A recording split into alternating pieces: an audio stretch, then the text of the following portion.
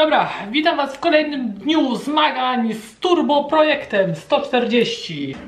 Dziękuję Wam za sugestie pod ostatnim filmem yy, i postanowiłem, że nie rozbieramy tego.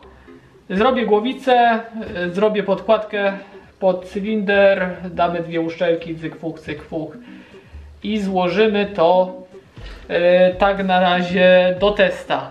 Będzie wszystko chodzić, będzie zarobiście, będzie moc odczuwalna, du duży przyrost mocy. E, Wtedy jaki będzie plan?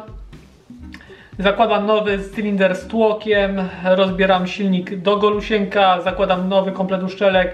Co wymaga w silniku do wymiany, to wymieniamy i jedziemy docierać go chwileczkę, tam się podociera i lecimy potem na hamownię. E, Sprawdzić ile tych kucy jest. W dzisiejszym odcinku, co bym chciał zrobić? Głowicę sobie na razie odpuszczam, bo z nią będzie dużo zabawy. W dzisiejszym odcinku chciałbym się zająć e, cylindrem. Honowanie też sobie na razie dam e, spokój.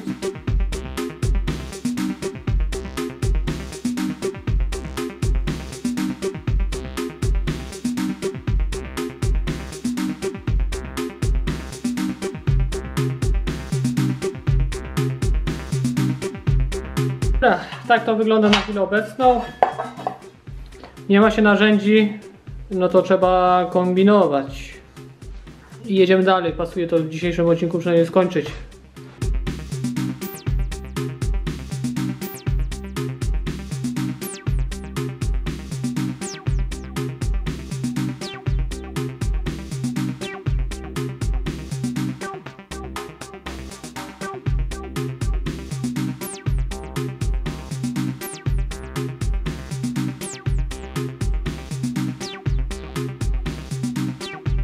No dobra, sprawy na chwilę obecną mają się tak. Jest tu straszne pobojowisko.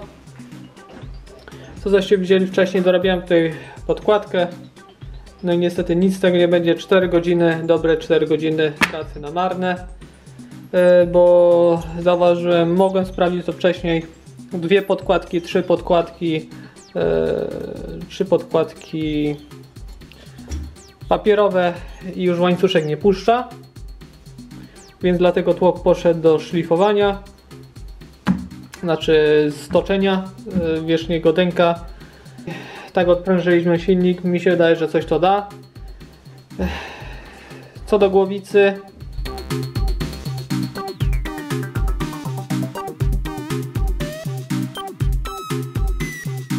plany są ala typu porting WRC Style. Powiem Wam, że szkoda troszeczkę uszczelniaczy zaworowych. Zobaczymy, spróbuję je wydubać. Bardzo dobrze trzymają. Może się uda je wydubać, żeby nie uszkodziły się. Odzyskać. Bo pewnie tak jak będę drugi raz e, robił silnik po tych moich testach, no to pójdą uszczelniacze nowe, ale póki co te, póki są dobre jeszcze, no to nie chciałbym ich zmieniać. Robić niepotrzebnych kosztów. Co do sprężyn. E, Sprężyny mam tutaj takie. Chciałem je wymieniać na gdzieś tu mi się plątały na takie. Ale kwestia jest taka, że w tej głowicy y, są twardsze sprężyny niż w tym MRF-ie, co robiłem wcześniej. Były te niższe, ale o wiele miękciejsze, a te są kurde pierony twarde już. Y, Twardsze mi się wydaje, że od tych wyższych, więc kurde teraz mam zgryz. I nie wiem, czy nie zostawię seryjne sprężyny, ale dołożę e, podkładki pod nie, a nie będę wymieniał na te większe. E, No, bo są, mi się wydaje, że są deczko miękciejsze nawet. Co do reszty części, no zawory, no to się pójdą do, zaraz po tej robocie całej, pójdą do, wy, e, do, do docierania. Reszta jest w miarę wszystko w dobrym stanie. Koniki takie delikatnie coś tam podebrane. Ten też tak delikatnie podebrany. No, ten też jest konik deczko podebrany. Ale zobaczymy, no. Może do, wymienię te koniki też na nowe. No i tak to wygląda na chwilę obecną, więc w następnym odcinku zabiera się, zabieram się za głowicę. Niepotrzebnie straciłem te 4 godziny czasu na bawieniu się z tą e, podkładką pod Cinder. E, no niestety, czasem stopa musi być.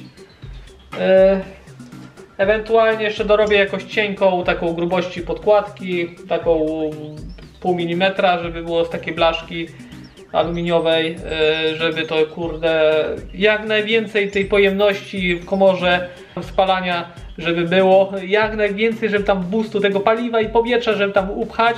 Wtedy będzie większa moc, większe przyro- przyrosty, i większy, większe przyrosty i większe mam nadzieję odczucia, yy, no i większa szansa, że wywali dziurę w tłoku. Nie no, dobra. Tyle. Przepraszam Was za mniejszą aktywność, ale prace polowe i inne sprawy troszeczkę przez to zaniedbuję YouTube'a, ale wrócę, jak się odrobię.